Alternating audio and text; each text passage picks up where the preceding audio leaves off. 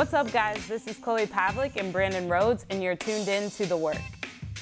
Today, we're honored to have a great guest, Malcolm Brogdon of the Indiana Pacers, former Rookie of the Year and an amazing man, activist, and really fighting for the community here and abroad in Africa. Thanks again so much for coming on today. Um, I don't know if they told you, but you know, we always kick off the show with our pinnacle question, which is, when did you first realize that you were black? Oh, I, I realized I was black from a young age. I was named after Malcolm X. Uh, so being black is is who I am. It's what I represent. Um, it's what I stand for. Okay, so you were you were destined to kind of go this activist route if if you were named after Malcolm X. Was that was that kind of an expectation in your family growing up? Was that something you were surrounded by?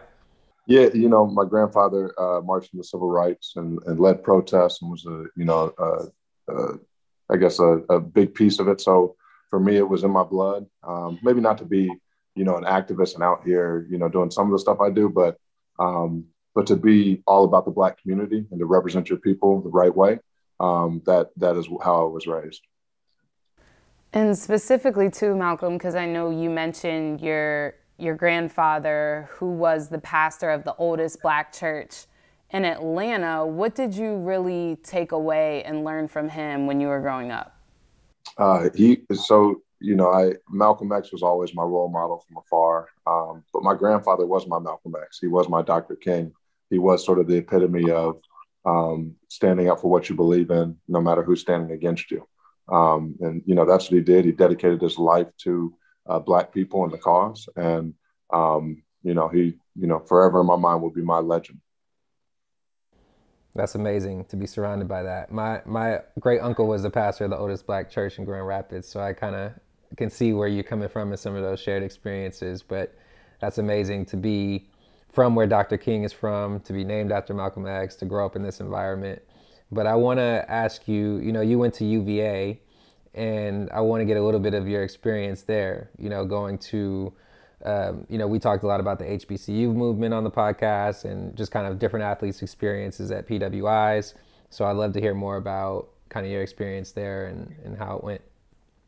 Yeah, you, you know, my mom, um, you know, I've had the sort of the best of both worlds. I grew up in Atlanta, um, which everybody knows is a is a uh, you know a lot of uh, black people doing really well for themselves. But my mom has been a professor, a dean, a provost at Morehouse College for you know 25 going on 30 years. Um, so my brother went to morehouse. Um, so I, I, grew up in the auc i grew up on campus every day after school uh, with my tutors were morehouse students.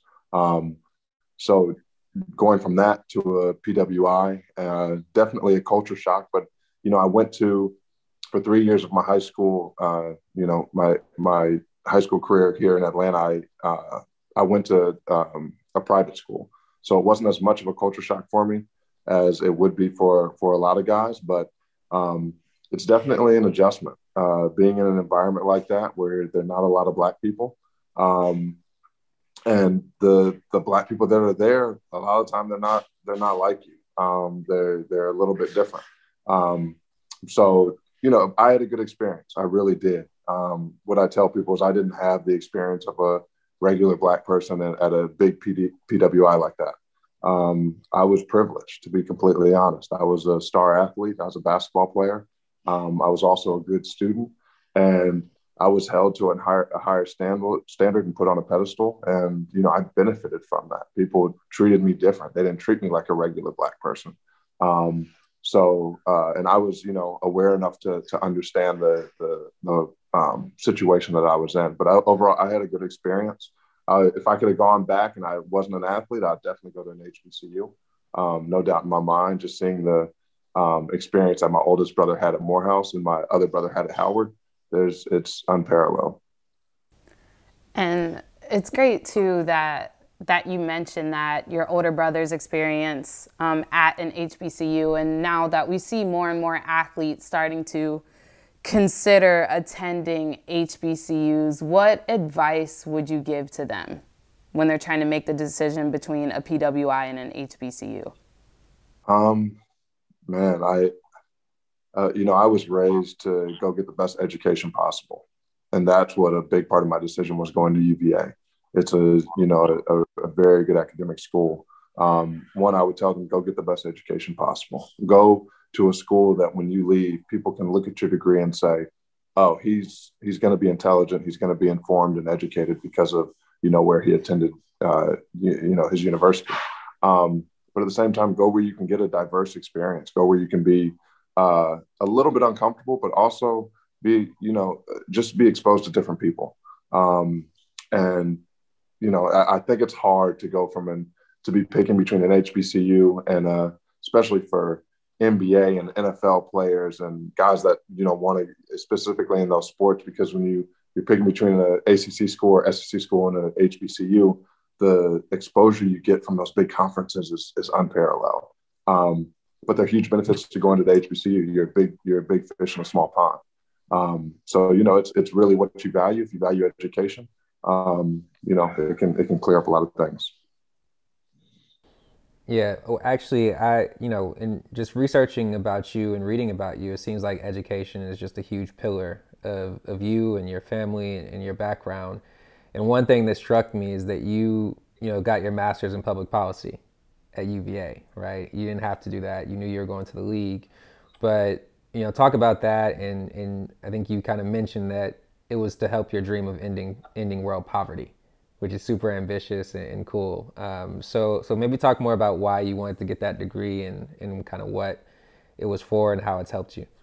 Yeah, for sure. So, you know, um, when I was growing up, I was blessed enough to travel to Africa, to travel to Ghana, um, Malawi, South Africa, um, and more recently Tanzania. But um, I was able to see the poverty that people were living in halfway across the world and to see how blessed I was and to see how much need there is out there and how much you know, how many resources that I have that other people don't that I can help them with.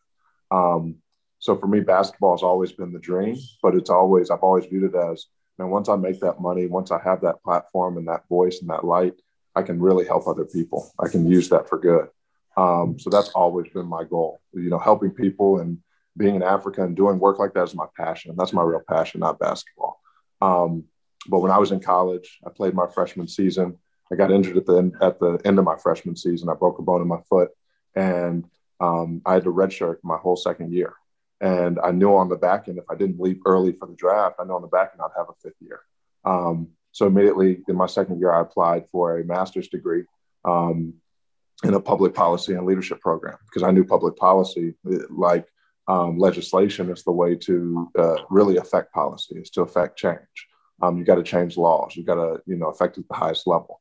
Um, and you know, it ended up being a you know a very honestly intense program um, that I basically finished my fourth and fifth year um, while at UVA, and you know, it, it it was a lot of work to finish my my bachelor's degree and then be working on my master's at the same time, as well as trying to uh, make it to the NBA. Um, but it was so worth it to, to push myself um, on the educational side, and um, it, it, really paid off. Yeah, that's it. It's amazing that you were able to do both, um, especially being someone that has my master's. I, you know, I could barely keep up with my full time job while I was pursuing that. So, um, huge kudos to you, Malcolm. And on top of that, something that really stuck out to me that you said is, you know, that this is your passion, right? These clean water projects for Africa um, versus basketball being your passion. And when you think about NBA players and guys that make it to the league, what what do you do you think that NBA players should have to play a role in helping things like clean water projects and different things like that on top of playing basketball? No, I do not. I think NBA players and I think professional athletes across the board should do what they're comfortable with and do what they're passionate about and do what they care about. Because at the end of the day, I think if you force people to um, partake in something like clean water or something outside of their sport that they don't actually care about, they're not going to give it 100%. Um, and it's not going to be done well, like anything in life, if you're not really passionate about it. Um, so I, I definitely would say, you know, for the guys that that are passionate about other things, give them the opportunities, open the doors for them, give them the connections so that they can really explore it. But for guys that aren't, let them let them you know be passionate about basketball and really focus on that. That makes sense. That makes sense. I, I think um, I want to dive more though into the Africa piece because look, we have so many things to talk about with you in terms of um, you know social justice here in the U.S. But that's one thing that really stuck out, right? So you went on this trip when you were a teenager, and like, what what did you see that sparked this whole passion area around clean water? And tell us more about kind of what you're doing to to impact it. Yeah, so you know, um, you know, I remember walking around in the sorry, my dogs. I remember walking around in the villages and uh, in Accra, Ghana, um, in the communities downtown, um, and seeing other kids my age. I was nine or ten, seeing other kids my age without shoes on, just walking around, and it was puzzling for me. I couldn't really comprehend it. Um, and then later in the trip, we were there for three weeks. We went to another city in Ghana, and we got we get off the bus and there's uh, a bunch of kids in the field playing soccer. They're all around my age, and I was a big soccer player when I was younger. It wasn't basketball; it was soccer for me. And my, my, my parents were like, go down there and play with them. like, go play. I didn't speak the same language, but it was one of those situations where you force your kids to be uncomfortable and go figure it out. And I went down there. And when I got down there, I realized they were playing with an orange. They didn't have a soccer ball. They were playing with a piece of fruit.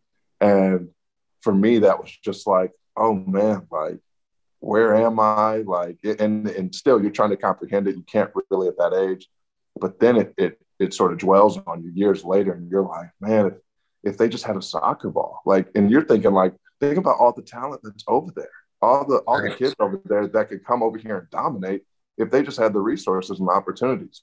Um, so little things like that. There was another time when we were in Ghana. That trip was just like it was my first trip there, and such sort of monumental things stuck out to me um, we were on the bus, and while we were in Ghana, um, the group that we were with, we they would hand out our food, our lunch, while we were sort of on our tours throughout the day, and they would hand it out on the bus. And we had these styrofoam boxes where we had our lunch. It was just basically chicken and rice. And the people on the people, you know, outside the bus that were, you know, um, uh, the Ghanaians in the city, they could, especially the ones that you know were poor, they could smell the food on the bus. And when they realize that there was food on the bus, they're banging on the windows, just trying to get because they're so hungry. And we start just handing out our food, just giving them our food. And they're literally breaking the boxes as we're handing the food out. And kernels are dropping on the ground, kernels of rice, and they're picking up the kernels and eating them. And I remember looking at that and just being like, this is, the, I mean, I'm a child, but this is not right. There's, there's no way people should be living like this. And as much food as we eat and waste in the US and as much food as we have, there's no way people should be living like this.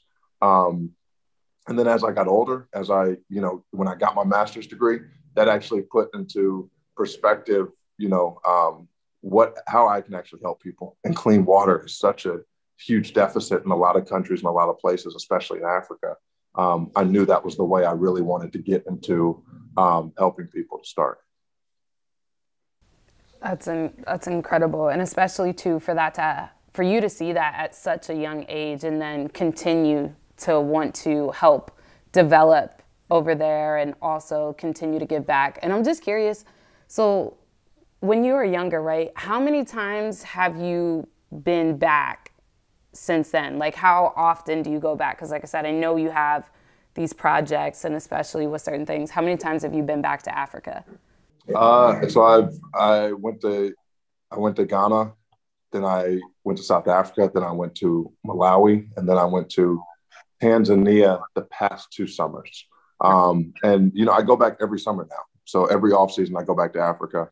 Um, I was supposed to go to Kenya this season because, I mean, this summer because we um, just put our first well in Kenya. Um, but of course, COVID hit. But it's it's something that I I want to continue to do every summer. Um, last summer, I also went to Senegal. Um, I went for Basketball Without Borders. It's really for me any opportunity I can go and see and and see and, and meet people in Africa and even if it's just you know helping with basketball camps, I, I go. So um, you know, it's a, it's a every summer thing for me. I love that, man. I I really need to get there to the continent, and I was I was helping out with Seed Project over in Senegal just through the U.S. Connect, and I've like, been wanting to get over there so bad. So I'm I'm excited to go at some point. Yeah, it's uh, it changes your perspective, man. You got to. Yeah, we'll we'll make we'll make it happen, no question. Um, so I want to shift gears a little bit more to the U.S. because uh, obviously you're you know a vice president of the NBPA. Uh, we know it's well documented what went down last year, um, leading into the bubble and social social justice and, and the George Floyd murder, um, Breonna Taylor. All these things happened, and you were kind of at the center of that. Um, so maybe just walk us through a little bit, kind of the timeline and, and the mentality that you guys had going into the bubble, and kind of some of the things that you're working on now to have a lasting impact out of that, you know, that spark. Sure. Well, you know, man, going into the bubble, I don't think NBA players or the public um, or anybody on the outside really realized that the bubble, there was a huge possibility the bubble wasn't going to happen um, just because the, the executive committee that I'm on was not going to agree to the terms with the NBA because we had specific um, points that we wanted to push. We had specific messages that we wanted to push during the bubbles and, and see specific things happen. And um, you know, it was a it was a rocky negotiation, absolutely, um, just to to come to terms with the NBA because there are things they want to see, and and there are ways they are and aren't going to bend, um, and there are ways we are and aren't going to bend. So um, it was a rocky negotiation getting there, and and a lot of a lot of emotion, um, and because so much had just happened, we had just had um, uh, Breonna, we'd had Breonna Taylor, we'd had uh, George Floyd. Um, so emotions were high going into it. And then to restart the season during all that, there were some players that just felt offended, that opted out, that were just like, this isn't what I'm going to prioritize right now. And then there were players like me that were like, um, no, this is an opportunity for me to use my platform. This is an opportunity for me to uh, uh, further my voice for those that don't have uh, the light on their situations. And it's also an opportunity to make that money that can transform communities. If you use it in the right way, you make money that's that that can transform um, you know communities all over not just yours but all over the country. Um, then we got to the bubble we agreed on the terms and it really did play out for the players. It played out exactly how we wanted it to. Um, you know the, the nba i think did a good job um, coming to terms with us on most of what we wanted. And um, you know i think we did actually have an impact. You know when you see you know uh, former uh, when you see donald trump you know, commenting on what the NBA is doing and caring that much about whether it's disrespectful or not, that means we're having an impact. And that's what we wanted. We wanted an impact. We wanted to make noise with what we were doing and how we were demonstrating. Um, and then after, you know, we're we're going to continue to push that message. The bubble was such a for us. We knew going into the bubble it was such a unique opportunity to uh, to to demonstrate to shed light on those issues right then and there because it was such just an opportune time where and it was so fresh. Um, and I thought I thought we did a good job. Thought, and we'll, we'll continue to we'll continue to use our platforms. Yeah, I, I think it was huge, Malcolm, because the biggest thing I feel like what happened in the bubble and prior to the bubble is you guys organized, right? You organized, you mobilized, um, and you brought an agenda and you made ass, and the NBA was obviously um, all about it. And then you guys continued to carry that momentum into the season. And you talk about civil rights leaders having full time jobs, but also doing the work. How do you think you and other NBA players can continue to sustain this, not just through this NBA season, but for future seasons to come? Oh, um, I think we have to continue to be demanding. I think we have to continue to organize, like you said. Um, I think that was actually the key. We were able to organize. Uh, you know, there were um, long, big discussions with uh, a lot of NBA players on the on the call before the bubble, deciding if we would go, deciding what the what the parameters would be if we were going to go. Um, and there were some heated discussions and guys that disagreed, but I think that's what you need uh, in moments like that to make a good informed decision. Um, and I think going forward, we have to continue to organize. I think it's especially with the PA. I think the the executive committee is huge. Um, there's a seat open. Pau Gasol is leaving, um, and and I think there might be one or two other seats open. And I think it's time for you know we got to continue to pick good leaders because I think that executive committee has a lot of leadership. Um, Chris Paul's seat is going to be up for the president. We got to pick a good president that can lead us.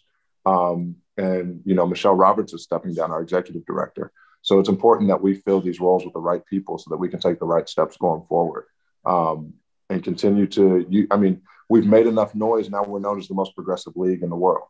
And now we got to live up to that standard, and we should. We should happily live up to that standard and continue to make noise. I love that. I love that. So I, I want to ask you, um, you know, in the NBA and in college, you've had a lot of accolades associated with basketball, but you won the 2020 NBA Citizenship Award. So I want to know, you know, how that felt and how that kind of stacked up with kind of Rookie of the Year and other awards you've been able to get so far. Um, man, it, it felt great um, to see your work acknowledged and just see your effort acknowledged. I think the Citizenship Award is all about effort and, and caring about others and trying to make an impact um, outside of yourself. Um, to see that acknowledged and, and, given a nod is great. Um, but you know, comparing to other things, it's not something that's glorified. It's not one of the awards where they're like, "Oh man, like, can I get your autograph?" Like, it's not like that. Um, but for me, it's it's everything. It's it's what I. It's my passion. It's it's everything I stand for. It's I don't stand for basketball. Like basketball is my is my. Uh, I heard someone once say, uh, "Rent your title and own your character." Like that's how I view basketball. I'm renting basketball right now, and I'm owning everything. My passion, everything I do off the court. That's what I own. That's who I am. Um, so to get that award is monumental for me. It's bigger than basketball. For tuning in, you just heard about the incredible work that Malcolm Brogdon is doing. And this week's work is to check out the Brogdon Family Foundation.